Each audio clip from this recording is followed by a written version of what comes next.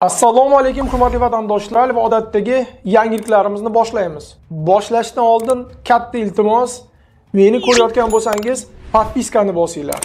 Podpiska bizning kanalimizga rivojlanishiga juda ham yordam beradi. Iltimos shuni bosib qo'yinglar. Moskva shahri va Moskva viloyatida registratsiyadan qiynalayotganlar uchun yangilik. Sizlarga ishonchli registratsiya xizmatini taklif etamiz. Ma'lumotlar bazadan chiqishiga kafolat beramiz. Shuningdek deport va zapretni ham tekshirtirib olishingiz mumkin. Ekrandagi telefon raqamlariga whatsapp orqali bog'lanib kerakli ma'lumotlarni bilib olishingiz mumkin.